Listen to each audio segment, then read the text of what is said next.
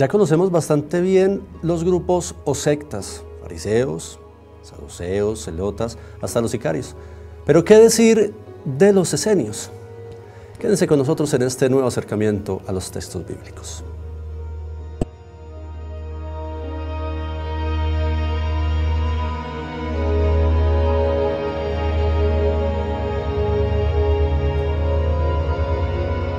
La palabra. Un nuevo acercamiento a los textos bíblicos.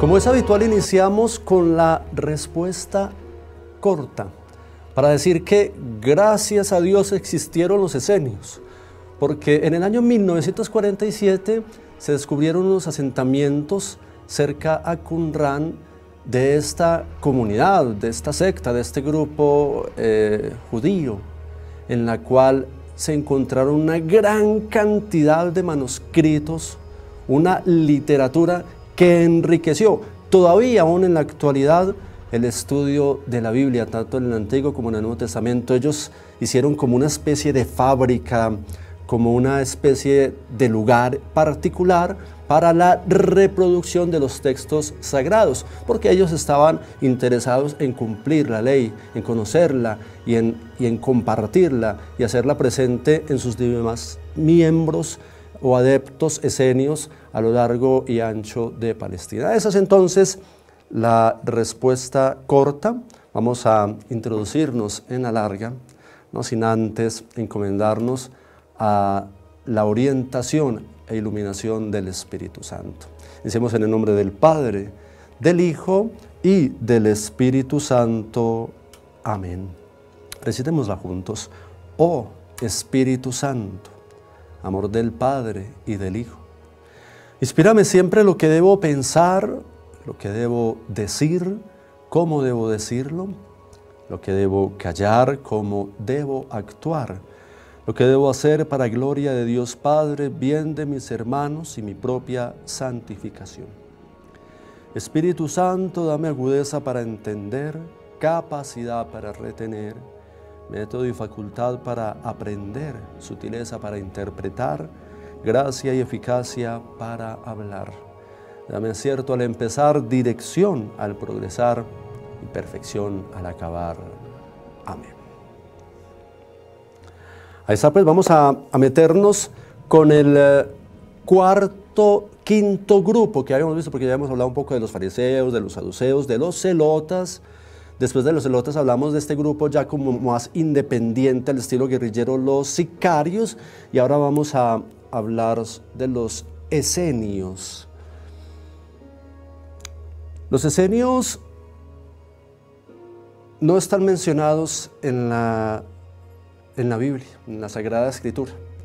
Cosa contradictoria, es decir, a ellos le debemos el hecho que se hayan profundizado tanto en el estudio de la Biblia, pero no están mencionados en la Sagrada Escritura.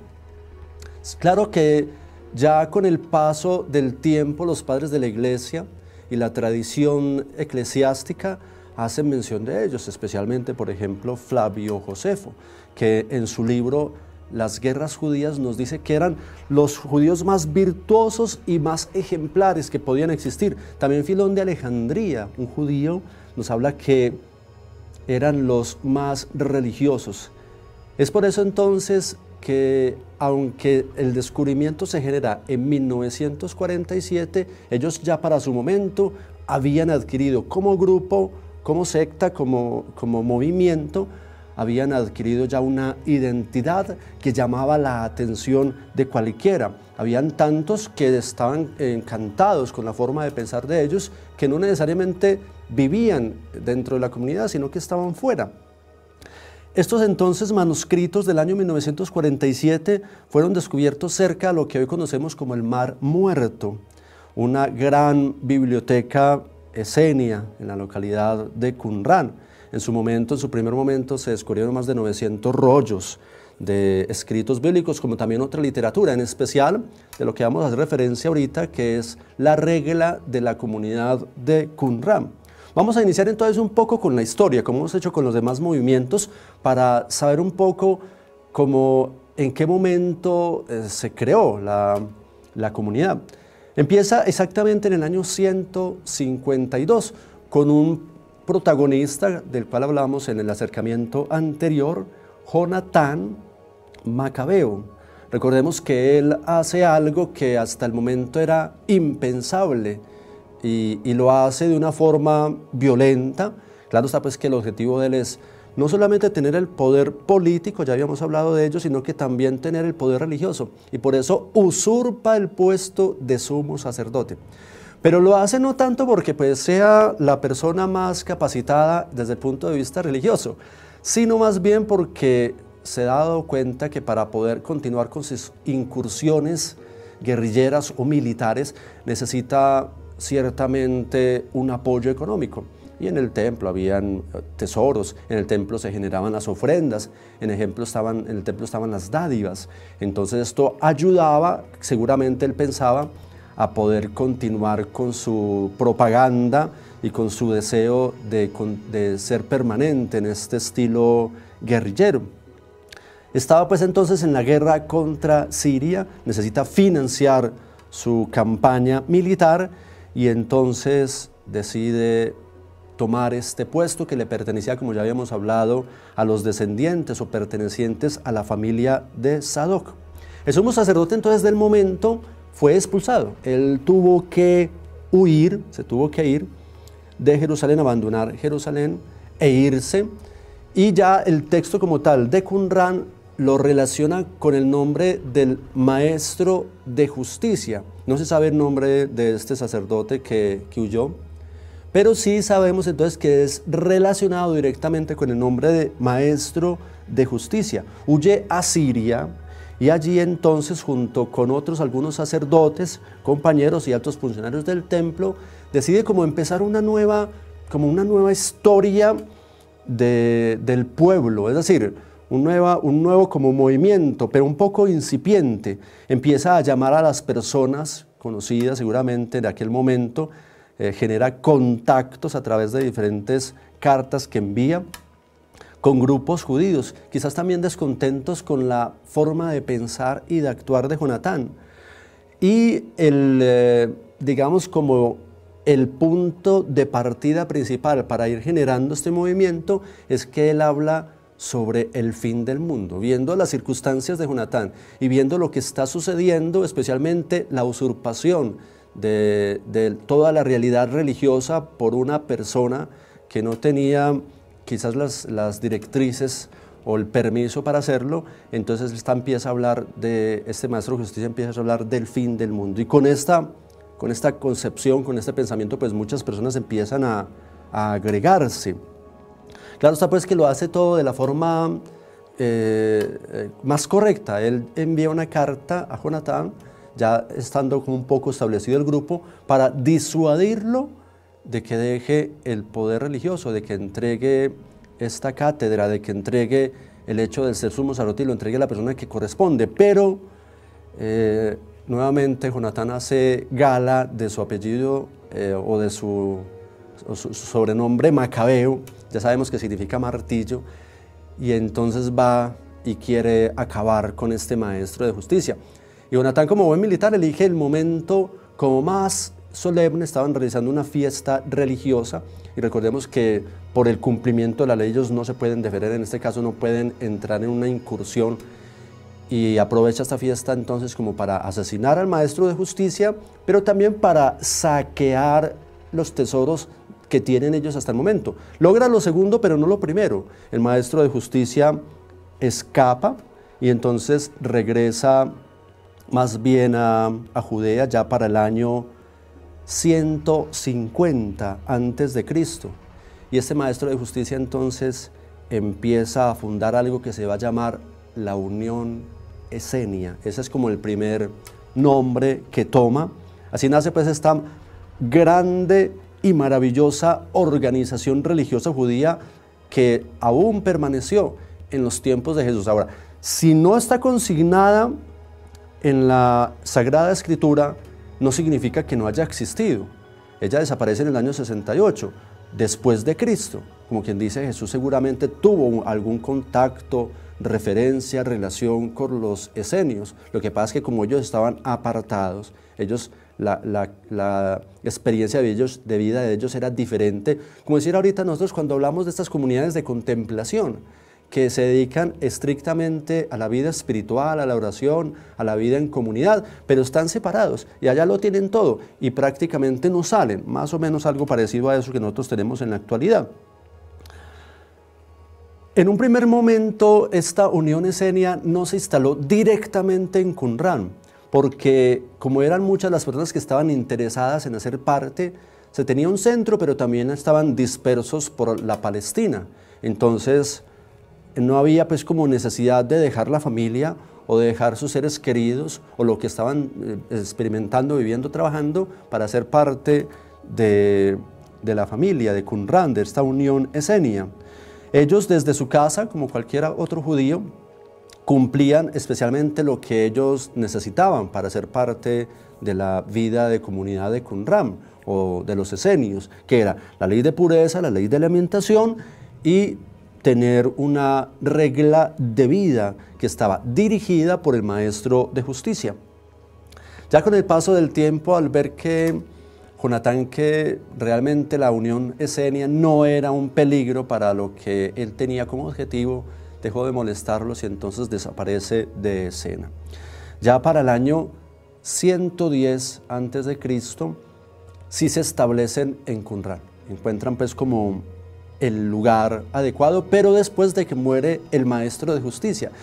Eh, sube entonces a la dirección otro sacerdote, y se organizan entonces como una comunidad, ya no tanto como la Unión Esenia en un comienzo, sino como una comunidad y toman una decisión maravillosa, la cual pues nosotros los biblistas agradecemos por esa iniciativa que ha enriquecido tanto, tanto el estudio de la Biblia.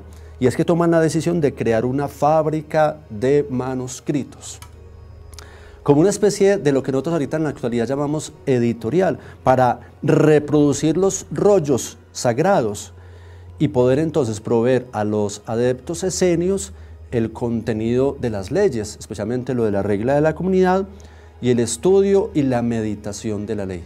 Es por eso entonces que es una gracia grande que haya existido esta comunidad. Era un edificio grande, nosotros cuando los biblistas los que estudiamos o los que queremos de pronto profundizar en estos estudios de la Biblia y estudiamos por allá en el exterior, hay una posibilidad de ir a conocer en Jerusalén el asentamiento de Qumran. Yo, por gracia de Dios, tuve la oportunidad entonces de visitar Qumran y de estar en estas, en estas ruinas. Es una experiencia maravillosa. Y entonces se nos habla de su historia. Y entre la historia que nos dicen era que existía un edificio realmente grande, de, 8, de 80 por 50 metros, con varias dependencias y con todo lo necesario para la escritura. La dependencia como más importante era el salón de reuniones, donde ellos periódicamente a lo largo del día, como en tres jornadas o en tres momentos, hacían sus oraciones. También se, era el lugar como, como la, de la meditación, el lugar de la escucha de la palabra, con su correspondiente lugar de purificación, que todavía en la actualidad cuando uno recorre las calles de Jerusalén y se encuentra con las sinagogas, antes de entrar hay una especie de lavabo allí para purificarse las manos, para poder entrar en, lo más, en, la, en la actitud pues, más digna a la sinagoga. Los esenios entonces como comunidad, como secta, como grupo, como movimiento, tenían unos requisitos para que las personas o adeptos que quisieran hacer parte, pero ya de una forma más estricta en la comunidad esenia, eh, tuvieran pues como, como tres pruebas que tenían que afrontar. El primer año ellos tenían que observar estrictamente cada una de las prescripciones legales que ellos decían. El segundo año el candidato era estudiado minuciosamente. En las hojitas que a ustedes les quedan en el enlace del video, podrán leer que eran hasta minuciosamente seleccionados, aún en el aspecto físico. Eran pues de pronto pues como una comunidad muy estricta en, ese, en, ese, en esa forma de pensar. Y ya al final el tercer año, que es como una experiencia, como una experiencia de noviciado, al final del tercer año se generaba la incorporación por medio de una fiesta solemne y de una profesión de fe. Recibían unas, unas, como unas insignias, ellos recibían una pala, yo no voy a hablar de la pala, ustedes cuando lean el texto se van a dar cuenta para qué sirve la pala, el cinturón de lino y una túnica blanca para las celebraciones especiales. Era pues como todo un ritual que se tenía. Un día en la vida de Qumran era algo particular. Recordemos todas las circunstancias que acompañan. Si era Qumran era un lugar desértico, era distante y cada una de las prácticas que se tenían y la rigurosidad en el cumplimiento de la ley hacía entonces que fuese una comunidad, digamos, como abanderada en el cumplimiento de la ley. Yo voy a tomar las hojas para que leamos un apartado un poco interesante de un día en la comunidad esenia de Qumran. A diferencia de los esenios que vivían en las ciudades, la vida cotidiana en Qumran, a orillas del Mar Muerto, donde solo hay desierto, salitre y calor asfixiante, dice pues este sacerdote argentino, debió de ser muy dura. Por la mañana los esenios bajaban de sus grutas para la oración colectiva, de cara al sol naciente. Luego venía el trabajo en las distintas ocupaciones, cerámica, agricultura, pastoreo, la copia de los manuscritos. A mediodía regresaban a la colonia para el baño ritual y el almuerzo comunitario. El superior bendecía el pan y el vino y luego comían frugalmente, mientras en silencio escuchaban la lectura de la Biblia. Esto no se parece más como un retiro, ¿cierto? Terminado el almuerzo, regresaban a sus tareas hasta la puesta del sol, en que volvían a reunirse para la oración, el estudio de la ley y la cena comunitaria. Entrada la noche, volvían a sus grutas para dormir. Entre ellos existía también un régimen de disciplina muy duro, en el que las más mínimas infracciones eran castigadas con la exclusión de la vida comunitaria, aún de las realidades más pequeñas como podría ser el hecho de participar en la comida. Entre las acciones penadas figuraban, escuchemos, criticar a un sacerdote, un año excluido de la comunidad, dormirse, cabecear o desperezarse, desperezarse durante la oración, seis meses, escupir en una reunión un mes, hablar cuando otro está hablando diez días. Y si alguno criticaba a la comunidad entera, entonces era excluido de ella para siempre. Era pues lo peor que se podría, le podría pasar. Para los esenios, la exclusión de la colonia era como la muerte, porque significaba la expulsión irrevocable de él y de toda su familia de la salvación eterna ante el fin del mundo. Ahí tenemos pues entonces a grandes rasgos y rápidamente ustedes podrán pues leerlo un poco mejor, con más tiempo y detenidamente, cómo era esta experiencia de vida en Qumran. Los esenios, de ellos se ha hablado o se ha especulado mucho que no podían casarse, pero realmente sí se podían casar. Ellos pues no iban a ir en contra de lo que está contenido en el libro del Génesis, de la unión del hombre con la mujer. Quizás de pronto lo que se generó con el paso del tiempo fue más bien como una especie de confusión. ¿Por qué razón? Porque ellos sí no se dejaban acompañar a las sinagogas con las mujeres. Recordemos pues que también igualmente allá hay un patio para las mujeres, un patio para los hombres, pero pueden llegar juntos. Ellos entonces, los esenios, como pertenecientes a esta comunidad, los que estaban por fuera, cuando iban pues al lugar del culto, especialmente allá, como lo vemos ahorita en la actualidad con el Muro de los Lamentos, ellos no se dejaban acompañar de las mujeres, entonces estaban siempre solos. Era pues como lo primero, ¿cierto? Lo segundo, que ellos hacían o celebraban sus nupcias a la edad de 20 años y no a la edad de 17, como se acostumbraba en la, en la vida religiosa judía. Entonces eran, era, es decir, se casaban despuesito, entonces ya a la de, de edad de 17, 18, 19 y todavía solteros o pues sin ningún compromiso, entonces hacía pensar quizás de pronto de que, de que no se casaban. Y lo último era que ellos habían tomado la decisión, a diferencia de los judíos, que, claro, sabes que los judíos son judíos, ¿no?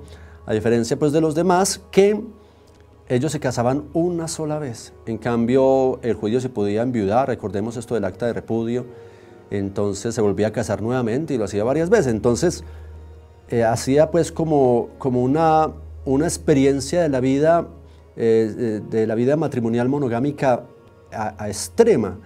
Y, eso sí, a pesar que quizás de pronto, por pertenecer, pertenecer a esta comunidad, pues no podían casarse. Esta vida de Qumran eh, llegó a su fin en el año 68 después de Cristo porque se generó una revuelta judía a la cual Roma pues no, recordemos la, práctica de los sicarios, a la cual Roma pues ya no quiso como hacerse el de la vista eh, corta y entonces envía en una incursión a Vespasiano a detener esta revuelta judía y lo que hace es terminar con todo. Recordemos que el año 70 es la destrucción del templo y hasta ahí llega pues como todo este ímpetu judío porque destruyen lo más sagrado que tenían ellos, que era el templo. Y esto hace entonces que estas comunidades desaparezcan. Murieron, murieron todos los esenios, pero ellos tuvieron una fantástica y maravillosa idea.